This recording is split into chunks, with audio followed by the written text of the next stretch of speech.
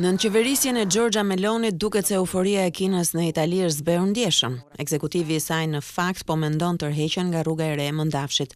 Qyteti i Astit në Piemonte, i drejtuar nga kryebashkiaku Maurizio Rasero, nënshkroi në muajin maj një marrëveshje binjakëzimi me komunën kineze Nanyang dhe menjëherë pas ceremonisë delegacioni vizitoi Dhomën e Tregtisë.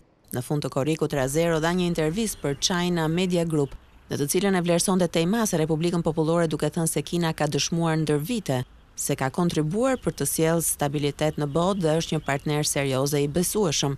Asti është gjithashtu në kontakt me grupin publik të telekomunikacionit China Telecom, i klasifikuar ndërkohë si rrezik i sigurisë kombëtare në SHBA.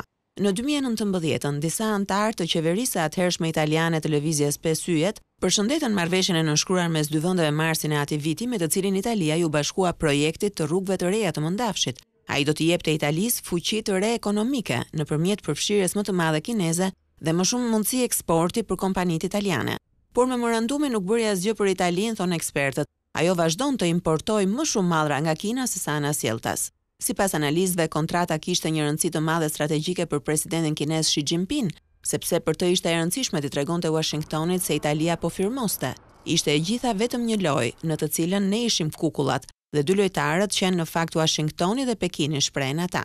Meloni është duke ndjekur një kurs më të favorshëm për Shtetet e Bashkuara në politikën e jashtme dhe që gjatë fushatës është shprehur se nuk do ta mbështeste marrëveshjen e Rrugës së Mëndafshit. Megjithatë ekzekutivi i saj është në dilemë sepse edhe nëse memorandumi do të përfundonte në vitin dy mijë e njëzet e katër, kjo nuk do ta pengonte Kinën të zgjerojë ndikimin e saj politik.